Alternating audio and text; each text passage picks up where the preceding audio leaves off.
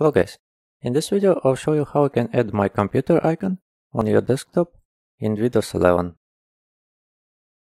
To get started, uh, right click on empty space on your desktop, then click on personalize, uh, click on Themes, then click on uh, desktop icon settings, and in the desktop icons section, check a computer. Then click apply and OK. That's how we can add a My Computer icon on your desktop in Windows 11. Thank you for watching.